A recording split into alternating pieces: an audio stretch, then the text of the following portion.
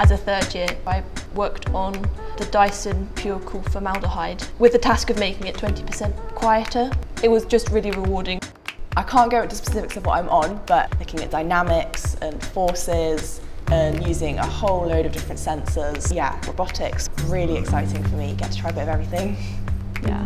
Within systems, looking at product architecture and also just engaging with different stakeholders around the company, making sure everyone's on the same page. I didn't even think this was sort of engineering, but I'm really enjoying it. So.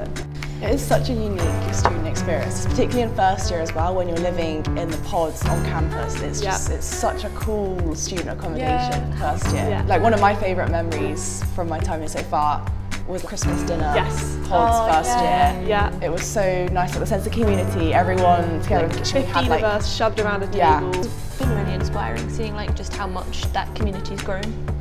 Because when we joined there was 33 of us and mm. then by the time we finished there were almost 200.